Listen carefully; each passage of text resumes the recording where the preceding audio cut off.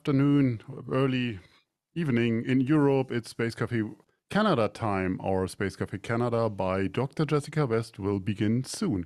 As always, we really appreciate your participation and your ongoing feedback. I'm Torsten, the publisher of SpaceWatch.global, and today the master of ceremony. And we are a Europe based online platform for information in and about space and new space activities in a geopolitical context. I would like to thank to all our private and corporate supporters that showed their commitment to keep our independent journalism alive. We really appreciate that. With Dr. Jessica West, senior researcher at the Project Ploughshares, we found a great friend and a wonderful host for our outreach in Canada. I know many of you are familiar already with our website, the bi-weekly and daily newsletters, and the Space Cafe podcast. And for all our fans of audio content, we also have new episodes in the Space Cafe radio on the road in Brussels at the EU Space Conference. And so, for instance, short talks with Alexander Gerst and Will Marshall by uh, Chiara. We also keep our fan shop open for you to support us actively and become a real space watcher. If you've missed any of our previous episodes, we have an archive on our web page in the event section and on YouTube. And with that, my job is done, and I'm handing over to your host today in snowy, cold Waterloo. Jessica, over to you. Hi, thank you so much, Torsten. Uh, welcome back, everyone, to Space Cafe Canada. Uh, Valentin, the video was inspiring. You captured so many of my favorite people on this topic, and I'm glad that we can add Canadian voices to this conversation. So, welcome back to Space Cafe Canada. I'm joining you from Project Ploughshares, which is a Canadian Peace and Research Institute. We've been active on global space governance discussions for almost two decades now. I would like to say that we're located at the University of Waterloo, uh, which itself is located on the Haldimand Tract, land that was granted to the Haudenosaunee of the Six Nations of the Grand River here in Ontario. Our last episode was focused on the debris implications uh, of outer space and ASAT testing in particular. And we're going to pick up this theme today with a discussion on arms control and diplomacy in space. To do this, we have one of the world's top experts on the topic joining us. Um, please help me welcome Canada's former ambassador to the United Nations and the Conference on Disarmament in Geneva, Paul Meyer. Paul's career spans not only diplomacy, but also academia and advocacy. He is a respected expert on the topic of arms control in space, as well as other domains, including cyber, and also a longtime mentor to many of us in the space community, both here in Canada and all around the world. Today, we can find Paul teaching and researching at the School for International Studies at Simon Fraser University in Vancouver, British Columbia. He's also a founding fellow of the Outer Space Institute. So, welcome, Paul, and thank you for joining us. Yeah, great to be with you, Jessica. Let's get started. Your bio is a little bit of a mouthful. You've done a lot. And um, I thought we would begin with how I got to know you, which is in your role as Canada's ambassador for disarmament. It's a position for which you're still very well known. Can you give us some context to this, the role and the work of the Conference on Disarmament when it comes to outer space issues and, and sort of how Canada fits into this? Yes, well, the um, the conference on disarmament, uh, for those of the listeners who aren't familiar uh, with it, is a 65 member state uh, forum in uh, Geneva uh, that is ostensibly the United Nations' sole forum for negotiation of multilateral arms control and disarmament uh, agreements. And it had um, the agenda item of PAROS, uh, our uh, familiar acronym for the prevention of an arms race in outer space, on its agenda since 1982. It has been um, active for a period of time um, with a dedicated committee of the conference from uh, 1985 to 1995 uh, on this subject. Uh, it was, uh, I think, a relatively productive period of time in the history of space security in terms of various exchange of ideas. But um, alas, there wasn't a consensus, and I should always emphasize that uh, the uh, CD worked on a strict consensus basis. Uh, there was not a consensus within the committee for a specific uh, course of action on it. Some states um, valued moving immediately to a uh, negotiation of a legal uh, agreement, specifically on an issue uh, that has uh, raised its profile more recently, uh, i.e., anti satellite weapons. Uh, but others uh, felt that it was premature to do that, that discussions of various options was all that was possible. In any event, uh, the committee ended, uh, wasn't able to be renewed. Uh, CD works on, on uh, annual renewals of mandates. So uh, this committee wasn't able to be renewed in 1996. And indeed, that was um, the last uh, year that anything uh, of significance was achieved by the conference in terms of official work. That was the Comprehensive Test Ban Treaty in, in that in that year, and for uh, reasons I won't uh, go into now, uh, the CD, uh, uh, the PAROS item got caught up in a much broader um, disagreement uh, within the conference on what should be the priorities and uh, for program of work and has not been able to, uh, in fact, agree on that for the last 25 years, which also explains why a new uh, diplomatic fora are being explored uh, currently. So uh, that's a, a, little bit of background on, on the CD. Uh, in terms of Canada's involvement, I think it took really uh, two uh, prime motivations. One, we were an early user of, of, space technology. Alouette, our first telecommunication satellite, launched in 1962. Um, you all know that Canada is a vast land, somewhat sparsely populated, and uh, so the um, the benefits of having uh, uh satellites uh, for uh, functions like telecommunications, like remote sensing, uh, were pretty uh, obvious to to Canadian authorities, and that I think was a motivation that has continued to the present day also alongside a long-standing uh, advocacy and activism on uh, issues of multilateral arms control and disarmament, uh, where it was felt that uh, Canadian national security, but indeed global security, was best served if uh, uh, competition could be tampered down and international cooperation through cooperative security arrangements fostered. So that's a little bit of the background uh, for for you and your and the listeners. So it's been sort of a long and bumpy, long road on this topic with not a whole lot of progress. Um, but you've continued to be deeply involved in the issue even after you know retiring from your role as ambassador um, you're an academic you're an advocate you're an advisor you're an institutional entrepreneur all of these activities linked to um, to the topic of arms control in outer space. So what is it about, about space security that keeps you so engaged personally? Yeah, I would say a, a few factors, Jessica. Uh, one is uh, that uh, I've always been uh, curious about how the international system accommodates uh, new technologies.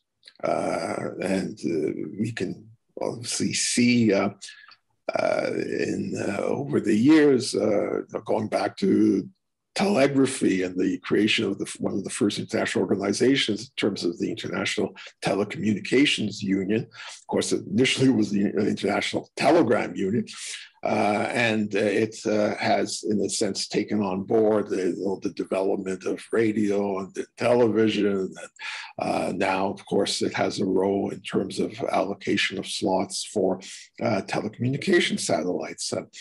Uh, so that was, I think, one element that space, though it's not a completely new area, it, its exploitation uh, was uh, relatively recent.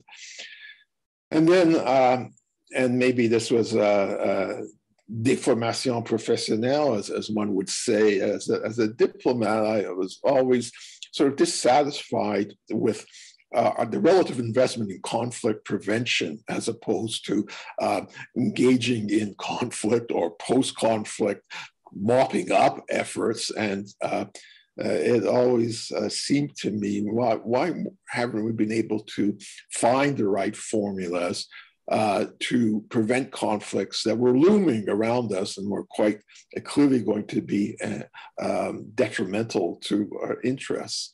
And so uh, I think that also uh, led me to have this, uh, this interest in how space, particularly as it's become so much more important for global well-being as well as global security, and where you know what you know 30 years ago was still a, a club of just a few basically uh, uh, advanced industrial countries uh, is now um, much more equitably sort of uh, uh, engaged. We have uh, I think now something like 80 countries that own or operate satellites, and every country on the on the globe is in a way a uh, consumer of uh, satellite-enabled uh, services.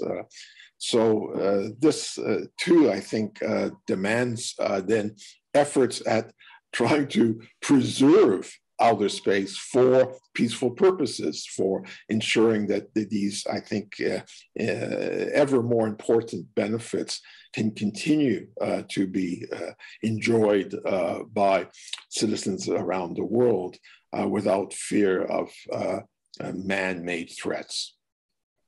Yes, I would say that um, the importance of space really stands out. You and I worked together for many years on the Space Security Index, which is behind me, and the size of that book, just over sort of the last five years of publication, grew tremendously, trying to capture all of the activity that was taking place. Um, and certainly your point about preventing conflict uh, strikes a chord with events this week.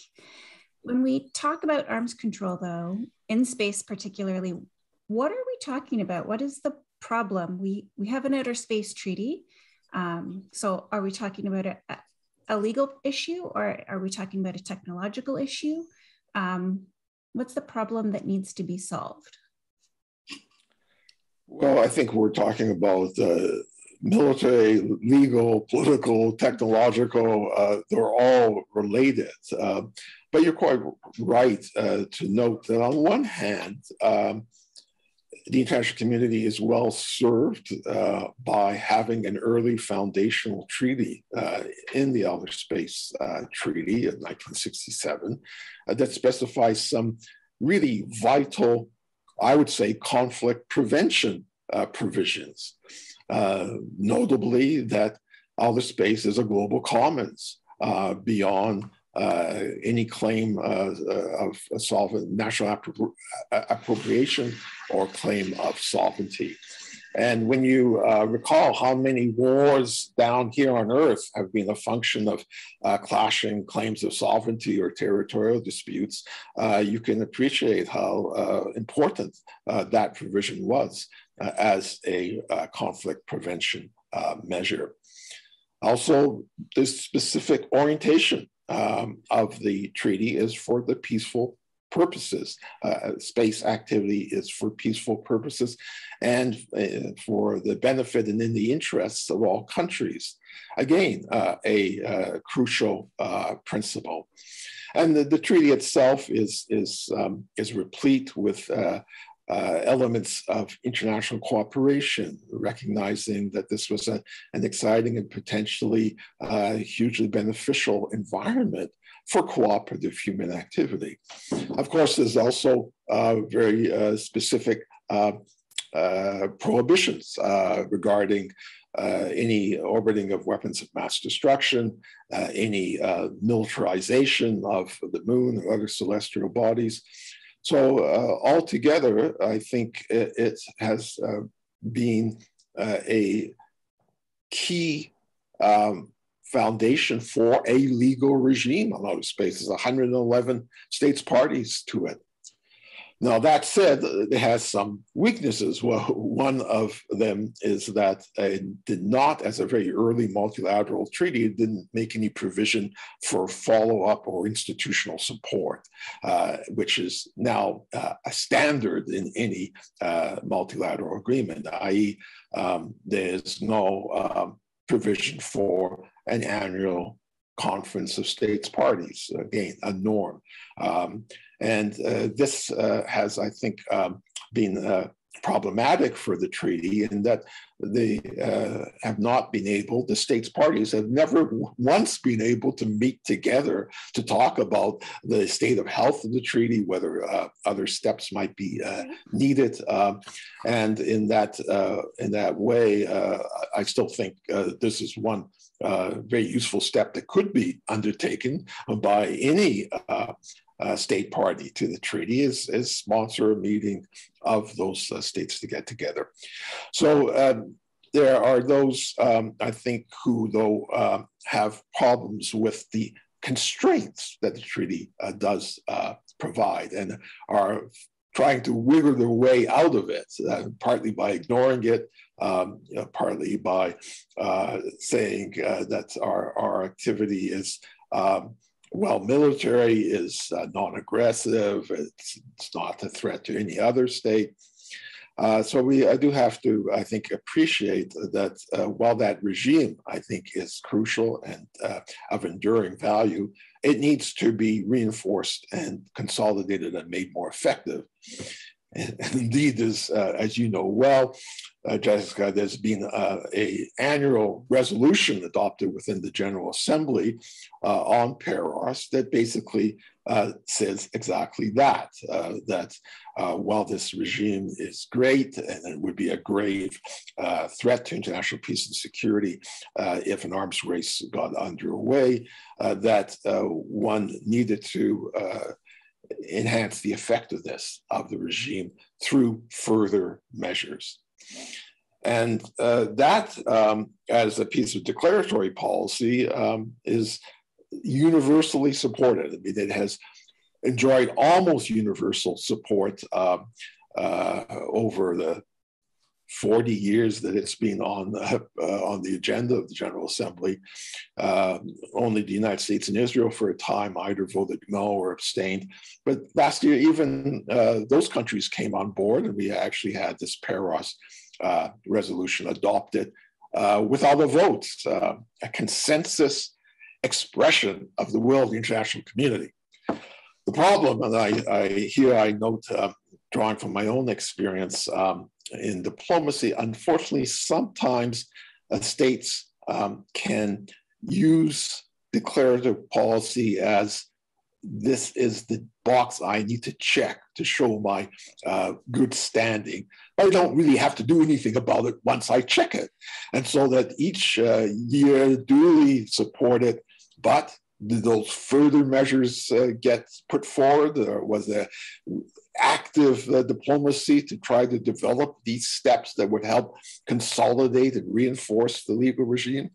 No, and uh, this is where we get at times a problem of what I term uh, ritualized support. So it became a kind of ritual uh, to uh, vote yes and then not really do anything of uh, major importance afterwards. And it took external events, uh, notably the revival of destructive uh, ASAT testing, um, beginning with uh, China in 2007, sort of has brought this back uh, again. It prompted some uh, short term uh, efforts of initiatives that really didn't pan out. but I think it can serve as an impetus you know, at last, sometimes um, uh, rising tensions and fears uh, can have a positive effect on re energizing moribund diplomacy. And I think we're seeing signs of that here. So, 40 years is a long time. I think we have people in the audience who are not yet 40 years old. What are some of the key points of differences or the cleavages that have been obstacles to to momentum on this or to agreement i suppose rather than than just momentum because there's more than just sort of ritualized support that's probably a lot of countries, but there's also disagreement.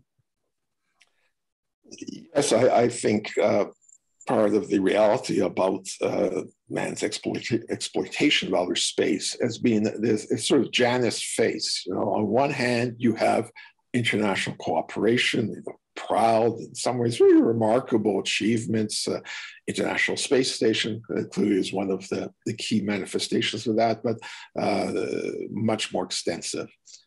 But on the other hand, in parallel, you've also had uh, efforts to achieve military superiority uh, in the space realm. And uh, those two are in, continue to be in tension. And I think uh, it underlines some of the failure to make progress because there are those who believe that this they enjoy military advantage that could somehow be constrained or perhaps neutralized through um, international agreements. And therefore, they're uh, loath to enter into them. You know, during my, my time uh, in, uh, in Geneva, this is 2003 to 2007, uh, I remember the uh, American perm rep often would uh, cut short any discussion on PAROS by saying, well, there's no arms race in outer space, so therefore there's no need to have any arms control there. You know, and, and it's, it's taken time for um, uh, the situation to evolve, and and maybe uh, you know states were less concerned about this gap between declaratory policy and the reality when there wasn't um, sharp manifestations of counter space capabilities being uh, developed and tested. But as I know that since 2007, this is definitely not the case. Uh, we've had now uh, four uh, spacefaring nations uh, uh, demonstrate destructive ASAT uh, testing with all its deleterious consequences.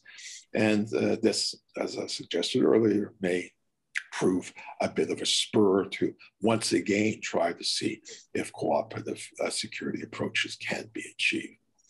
Yeah, I like to, or I, I think I've referred to the there's no armories in space, nothing to see here is the, the fog of peace myself. Um, and, and, as an obstacle, I'm going to take an audience question just because it fits right into what you're speaking to now, and also a key area of your expertise um, someone is asking about the role of um, TCBMs, non-binding agreements, and we're going to move on to the sort of the upcoming process. But the question is specifically about the role of the MTCR and the, the Hague Code of Conduct and how these fit into um, discussions and, and, efforts to prevent an arms race in outer space sure. Yeah, I mean, uh, yes. for you know a long time, uh, I would say this is the legally binding versus politically binding um, debate, uh, and there are adherents on both sides, and frankly, there are some good uh, reasons uh, for those who prefer one over the other, uh, and in my mind, this was in my approach for a long time. I don't I'd rather not get hung up over the status ultimately. I think it's more important that you have agreement on the substance, i.e., specific measures.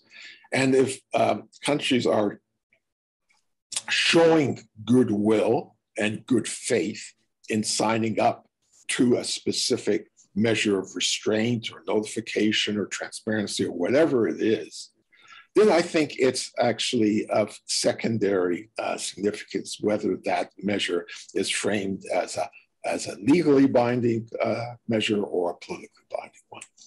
So uh, I uh, would see merit in uh, if there are significant measures and can be agreed uh, to, of course, um, proceed.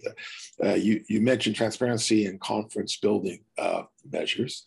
Uh, and there was uh, an important consensus um, set of recommendations from a UN group of governmental experts uh, from 2013 with a number of these.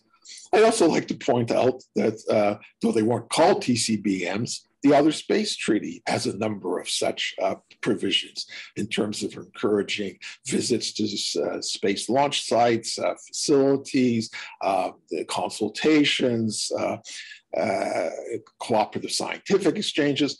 So I think there's a menu of steps that are out there if countries are really desirous of seizing upon them. And I hope and maybe we'll get to this uh, shortly, the, the, new diplomatic forum that has been launched um, may uh, provide uh, some early agreements of that sort.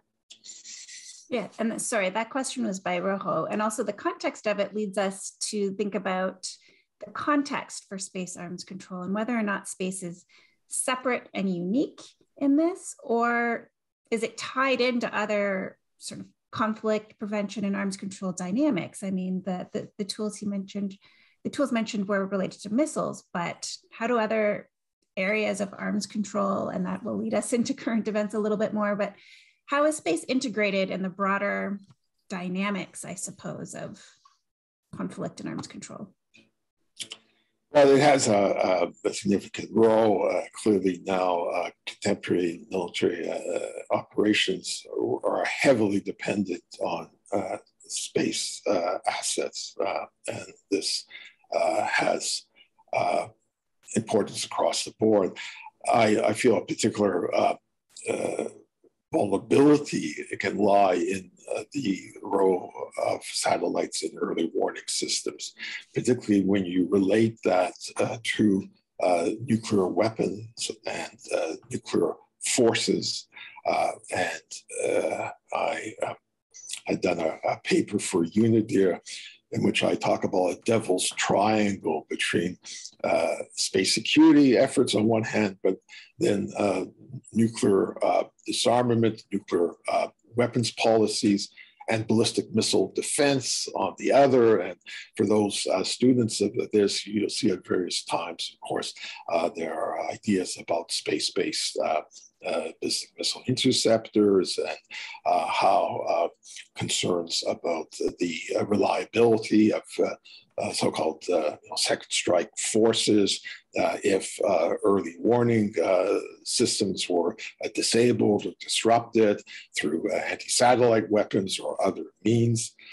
And you know, if this wasn't a little disconcerting enough, you can have the overlay of uh, cyber operations on, on this, uh, which of course uh, can be disruptive both of normal uh, satellite functioning, uh, but also uh, in some, um, some terrifying scenarios um, in terms of again, the nuclear forces, uh, a good number of which, of course, uh, remain on uh, a high state of alert, uh, in which uh, uh, there could be a launch you know, within 30 minutes of, of perceptions of an incoming attack. So this um, is indeed an increasingly complex mixture that does at a minimum, uh, pose new challenges uh, to efforts at cooperative uh, security and arms control.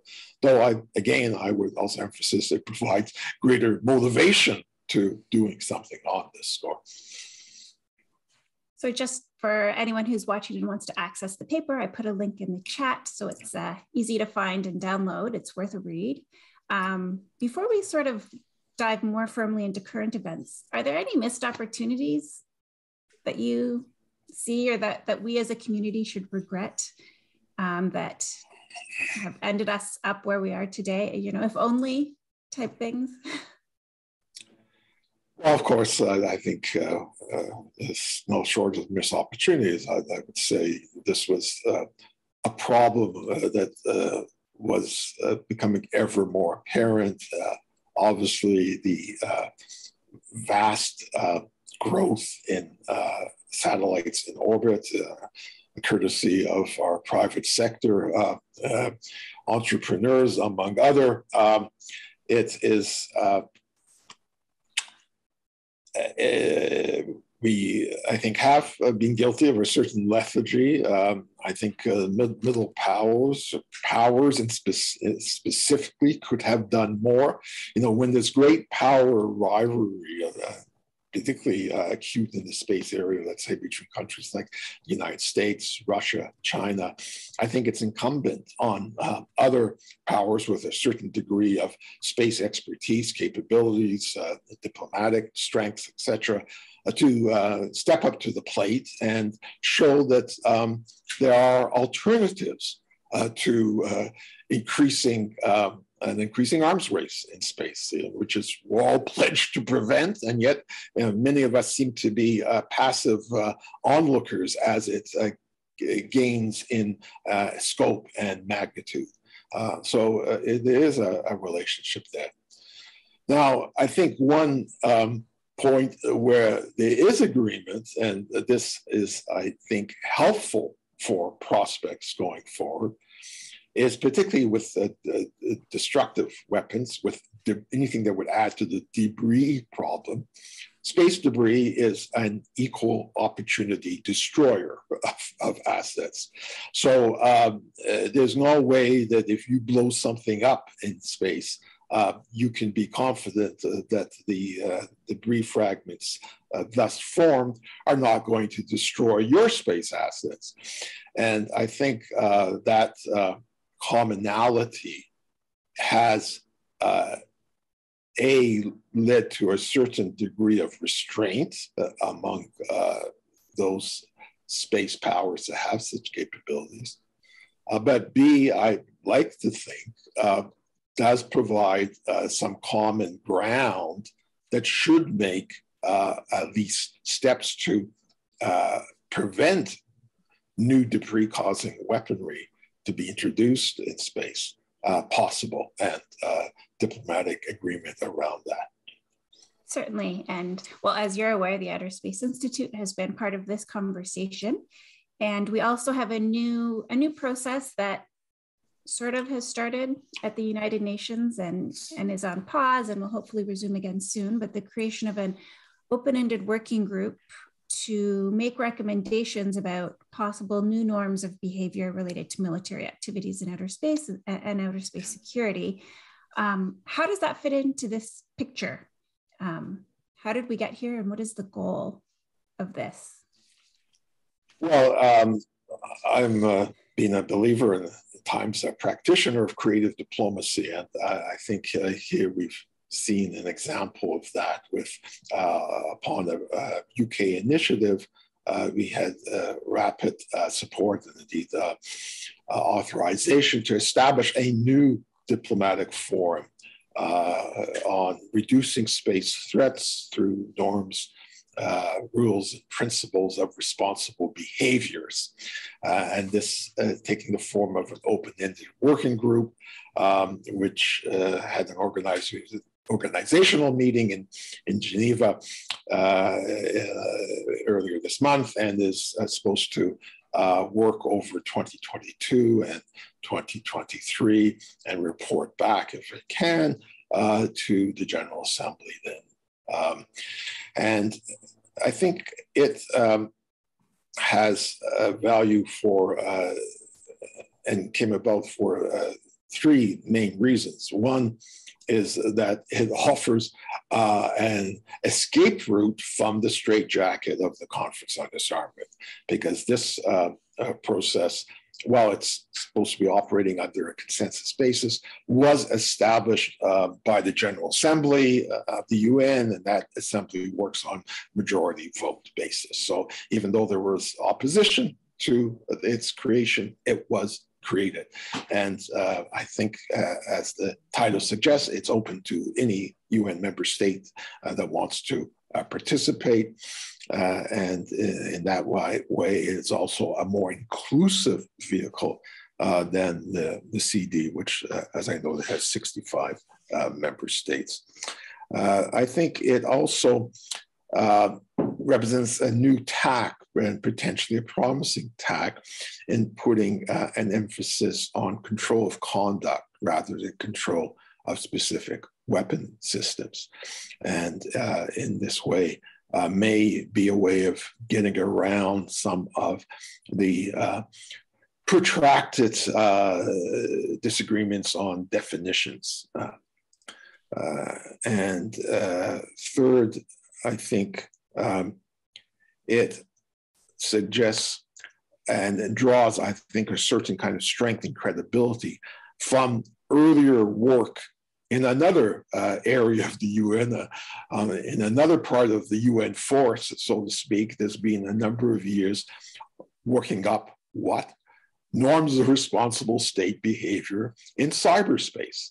Uh, and uh, there has been some success uh, in that field through another open-ended working group process. Uh, so those um, three elements, I think, all um, speak uh, favorably to the prospects of this new open-ended working group.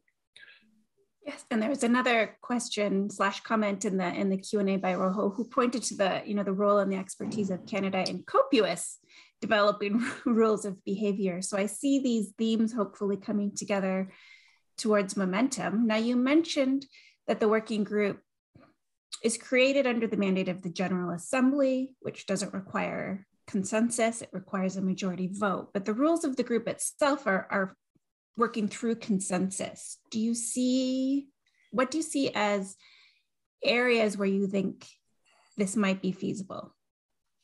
Where all of the states who are yes. may agree? well, I, would identify uh, as the Outer Space Institute uh, did uh, in its uh, open letter uh, of last summer, um, recognizing that a ban on the testing of uh, kinetic or debris causing anti satellite weapons would be a very concrete and very constructive measure to uh, have. And uh, that, uh, in my mind, um, could represent some uh, low hanging fruit uh, for harvesting in that OEWG. as noted earlier, avoiding additional debris is to the benefit of all those operating space assets. Uh, and it is, I think, uh, therefore, a very good place to uh, start looking at. And aligned with my earlier remarks, you know, in my mind, it will be less important whether such a measure uh, enjoys uh, a legal status or just a political status. And what's crucial is that it's agreed upon. And there are ways, I think, where such a measure could be uh, uh adequately verified as well, which would help build, of course, general confidence in the uh, uh, willingness of states to cooperate on this. And there are, of course, many other ideas that um, could be uh, put in as part of that. Uh, there are uh, efforts of transparency and, and exchange, uh, other uh, realms where some restraint might be uh, possible. So that's, um, I would say, near term, I, I would hope, focus. So we've already had a little bit of a, a hiccup. the first week of substantive discussions has been postponed following difference of opinion on interpreting the mandate of the working group and um, specifically Russia um, you know, working the rules of consensus has pushed the first meeting to May from February. Um, and so there have been a lot of questions, I think some, the, some here, but also on, on Twitter and um, I guess in social media in general about what the role of Russia might be in um, in the working group and in diplomacy on this issue going forward, especially this year uh, with events the way they are. And I know we were going to talk about that last week at an event we were at, and I didn't get to hear your thoughts. So I'm curious what your thoughts are on that and, and what you see possibly unfolding this year, um, specifically when it comes to diplomacy in the open ended working group. And we'll, we'll shift to some other diplomatic questions after. Well, of course, uh, we're all still recovering, I think, from the shock of uh, the Russian invasion of Ukraine, which obviously is a, a massive you know, violation of international law and uh, respect for um, uh, sovereign independence of, of states. Uh, so, in, in, hindsight, maybe it's just as well that uh, we're not launching immediately into the work of the OEWG and that we won't have uh, the uh, first meeting uh, until substantive meeting until May. Uh, you know, diplomacy uh, has to keep active even at times when, you know, the guns have started to go off and it represents also ways of providing off ramps from military escalation and, and, and, war. And I think uh, that's uh, relevant in this uh, case as well. I come back uh, once again to the clear common interest uh, of all space uh, users, of which Russia clearly figures significantly in trying to minimize threats to their systems, which they are dependent on as much as anyone else. And uh, I think uh, a new actor here, not be curious for your assessment uh, too, Jessica, is the private sector. I mean, we've had just incredible growth now in uh, the matter of a little more of a year with the number of you know, active satellites, particularly in low Earth orbit. Uh, I have trouble, frankly, coming up with the, the, the correct number these days. It was you know, 4,000 now, I've heard 4,800 now, over 5,000.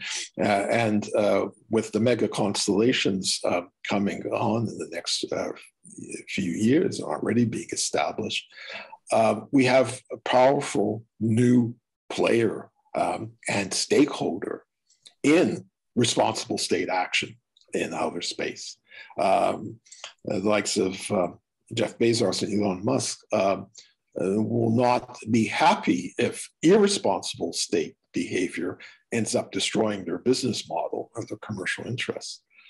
And uh, I also like to remind uh, individuals that, uh, that, the industry, particularly big major corporations has never been shy of lobbying governments uh, uh, extensively uh, uh, when their commercial interests are being jeopardized.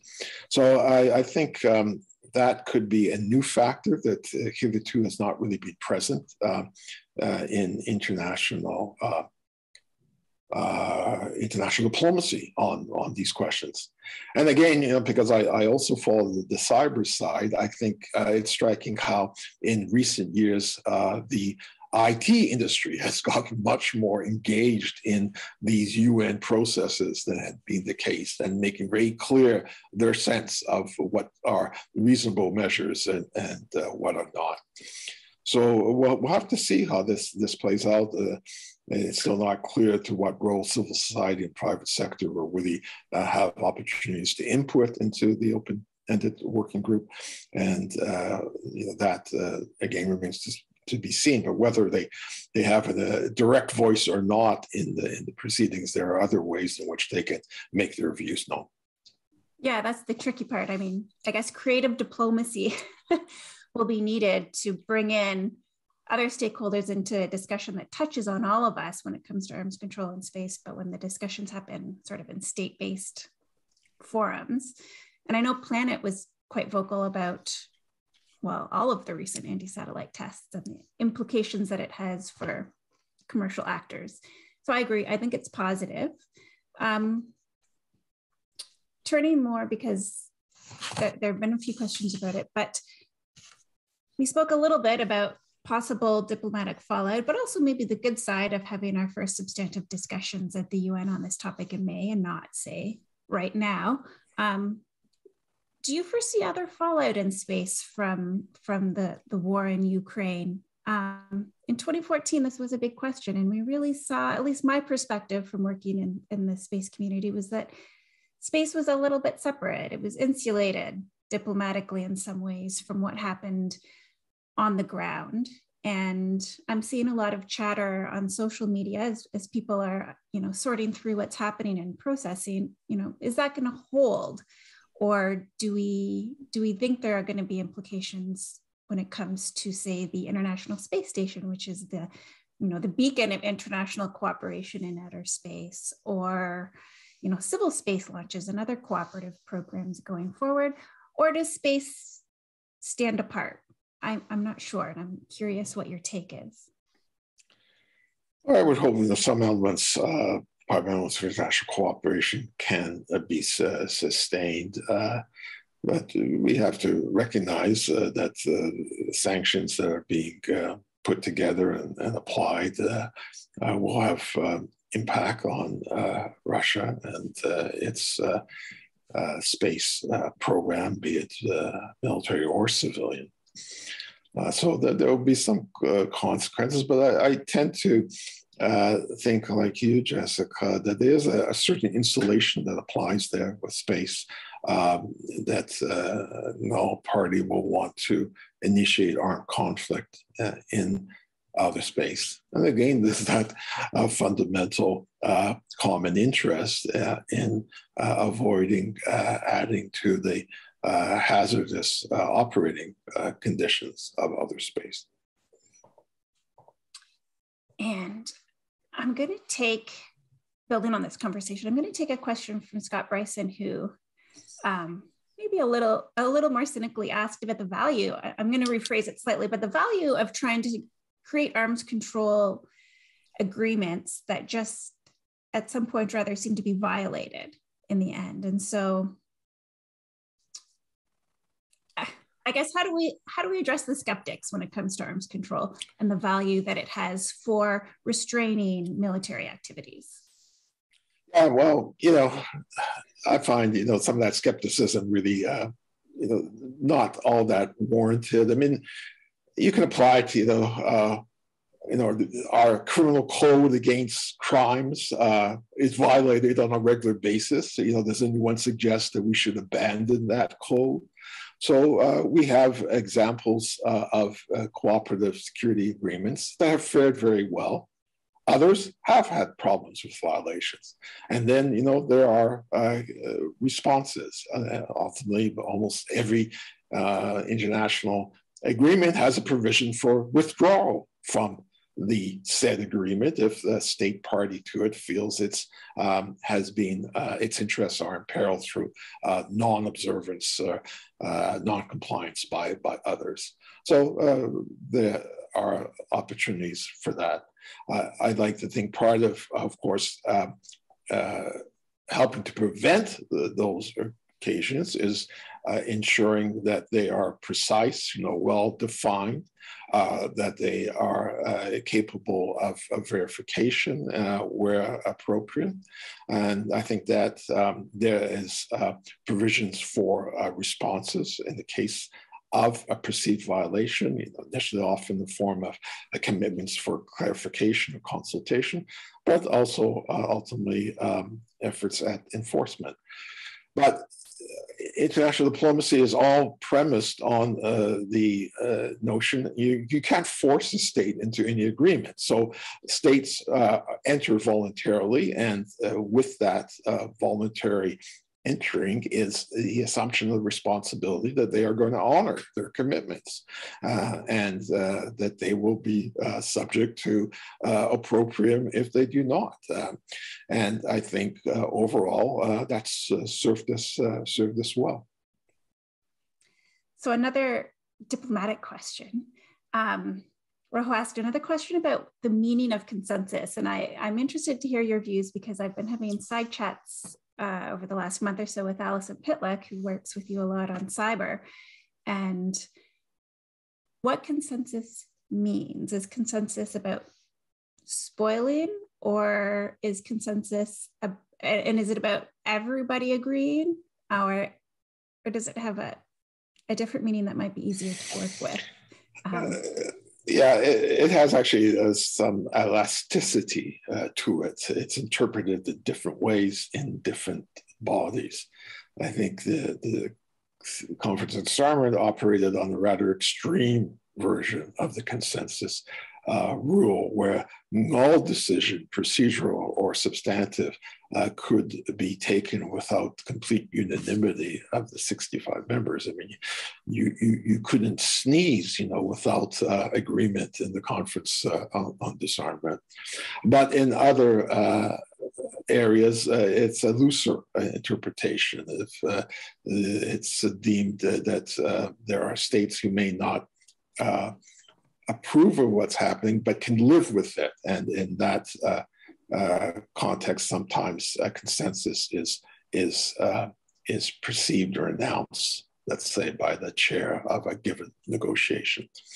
And I think it's evolving too. The, the, vast majority of states, I mean, the, following a democratic principle that uh, majority will should not be stymied uh, by the minority, have um, increasingly moved on on this. Uh, I give you the example of the arms trade uh, treaty, which uh, uh, was negotiated under a mandate that talked about consensus, and years were spent in developing a, a, draft accord that was. Um, acceptable to the vast majority of those participating states. But you had three, I think it was Syria, North Korea, and Iran, that denied consensus at the last moment. So what happened? Did the states sort of uh, lament uh, this uh, breakdown and there would be no, no arms trade treaty to uh, uh, uh, proceed? No, they then took the text and put it into the General Assembly and had it adopted there. And we now have a very viable uh, multilateral uh, treaty. So I, I, note that that even when you know consensus is specified um, it, it, as the uh, decision making or operating procedure, uh, it can be uh, in fact handled in different ways. Yeah, creative diplomacy and creative institutionalism. Um, there's another question. This sort of changes our topic a little bit, but I think it's still focused on diplomacy. Uh, Dwayne is asking about perspectives on competition for lunar resources. So I suppose the future of diplomacy as we aim higher and, and wider in space as a as a civilization and what we might expect. Uh, well, uh, here again, I think the importance of the uh, Outer Space Treaty in terms of some key principles that uh, the exploitation and use of outer space is for uh, the benefit and the interests of all countries. So uh, you're going to have to, I think, demonstrate that. and the Outer Space Institute has also um, made known its um, urging that uh, we not simply have a set of fait accompli here, unilateral sort of moves, that we work out a uh, multilateral uh, framework to govern how space resources are to be employed. And I was uh, pleased that uh, the legal subcommittee of COPUOS uh, seems now to have agreed as part of their work program that they will be looking at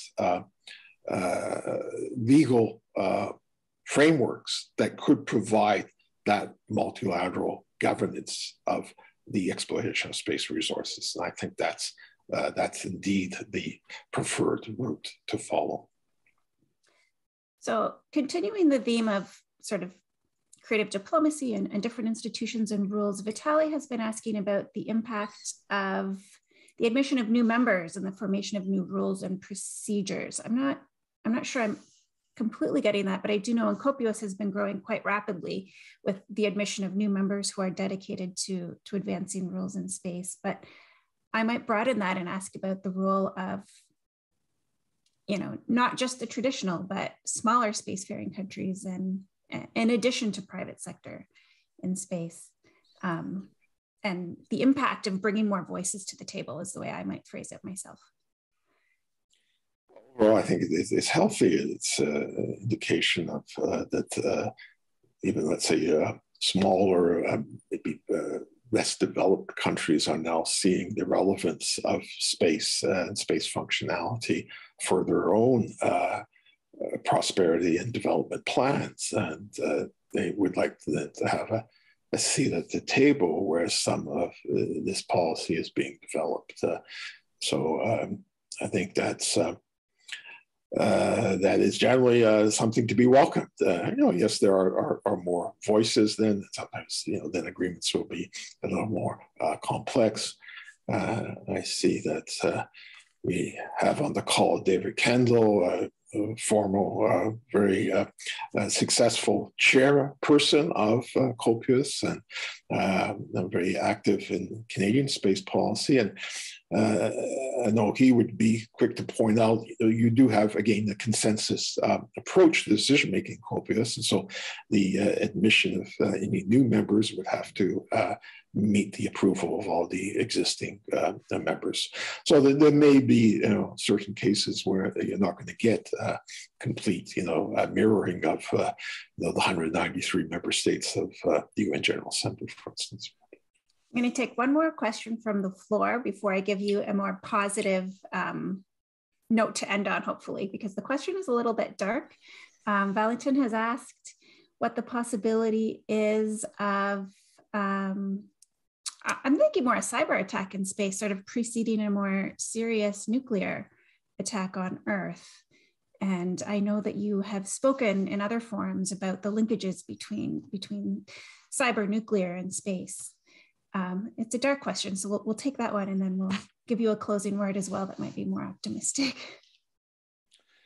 Well, I'm not going to reveal here in uh, public uh, domain uh, the manner to have a cyber spoofing attack on the nuclear early warning system. Uh, but I, I, as I suggested earlier, it's a challenge. I hope you know the first uh, step in uh, providing solutions to the problem is recognizing it as one, and I think that is uh, now uh, becoming apparent. I think, again, there's been some uh, eminently uh, logical uh, arms control proposals on this that have uh, been put forward. I think, notably, um, a ban on any kind of cyber penetration operation against nuclear weapon control facilities. and I think that would be a, a good place for uh, those uh, powers that have such uh, offensive cyber capabilities to look at uh, agreeing on, because you know, once again, it would be uh, incredibly destabilizing and possibly escalatory to have a cyber operation against a, a nuclear weapon system. Absolutely. Before we give it back to Spacewatch Global, I'll just ask you quickly what you think the one thing is, or the key thing, if you could say a key ingredient that we need to move forward on this topic as a world? Yeah, well, I know it's something of a cliche to say, but uh, a little injection of political will would be uh, very uh, helpful. Uh, I think there, again, are uh, uh, eminently appealing and compelling uh, practical reasons for uh, establishing some cooperative uh, security uh, uh, accords and arrangements. Uh, but you do need to have political backing for those. I was pleased to see Canada, for instance, uh, renewing uh, its long-standing um, interest in proposals to uh, ban ASAT testing.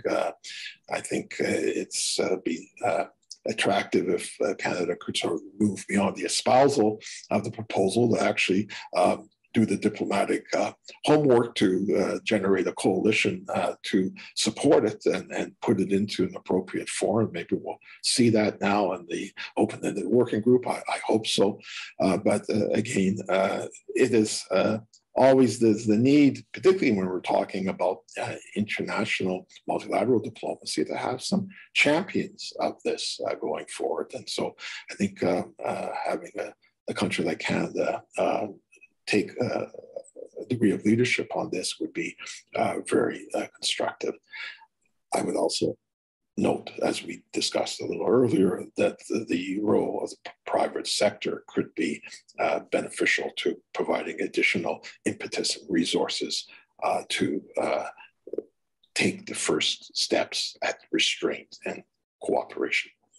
Well, we have about three months left to start mustering political will across all of our various countries and, uh, and private sector as well before, uh, before more substantive talks get underway with that, um, optimistically, I think I will hand the floor back to Torsten to, to wish everyone well. Do you want to take command and control, Torsten? Yep. Thank you very much. Uh, thank you, Paul, for this wonderful talk. Uh, really uh, enjoyed this, this conversation you had. So, uh, before you're switching off, dear audience, uh, please see this incredible lineup we have prepared for you. So, next week in the 33 minutes, I will speak with wonderful Emmanuelle David and Dr. Minou are about the current status of the space sustainability rating.